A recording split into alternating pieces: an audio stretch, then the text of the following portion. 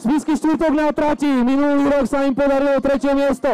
Zvíťazia v ročníku 2021.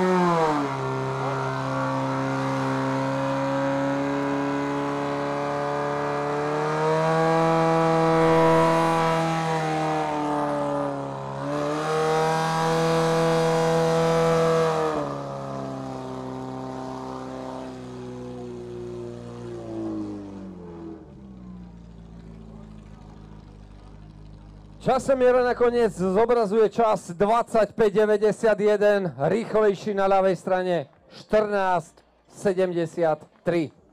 Obrovská To strana. nie je možné. To snáď nie je ani možné. Ja premenujem Sveržov